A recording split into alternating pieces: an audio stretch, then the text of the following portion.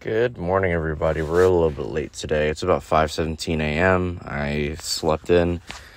Well, we're first of all, we're at 74,839 miles. So basically, what happened is that I went to sleep at nine, woke up at 12, passed out again until about my alarm ringing at like 2 a.m., and then I made the mistake of going to lay down on my bed and did not wake up until about 4:30.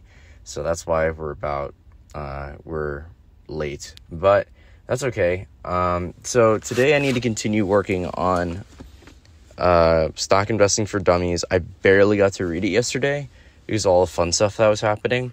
So I still need to start working on that today. And I need to still, like, when I get home, give myself enough time to apply what I heard from the book or any of the notes that I took. Um, but that's about it. Other than that, I have nothing else to report for today.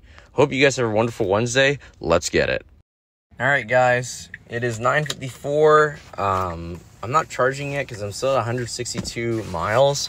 Um, I'm near like just uh, Christopher Columbus Boulevard, where all the boats, all the shipments, all the freight are all at. Um, I think it's time. You know, you know what time it is. It's egg sandwich time. Now, um, I guess the only thing I have to say yeah, ain't much to say. I haven't had much time to touch my book at all. I've been busy all morning talking to people, um, barely having any time to breathe. So I'm gonna enjoy this sandwich while I can and just try to start working on my book. Hope you guys have a wonderful day. Let's keep going.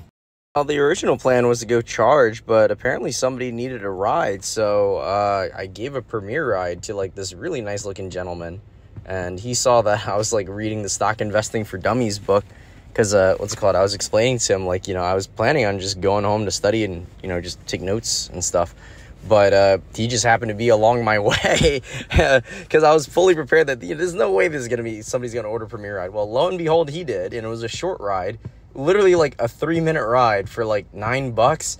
And he tipped me like 20 something dollars. He's like, Here, now you can become one of the next billionaires now with this. And I was like, Thank you. Oh my God. Dude, it was, I wish you could. I wish some of you guys could be here for some of these crazy rides. The guy had like a really funny, you know, New York Queens kind of accent.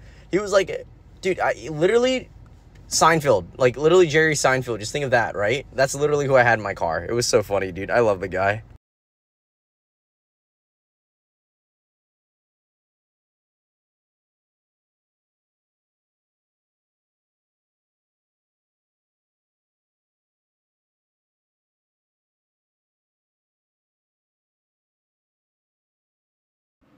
Thank you guys for riding with me. I did a half day since there was a lot of stuff I wanted to work on, like my book and other things, so today was only a half day. I hope you guys had a wonderful Wednesday.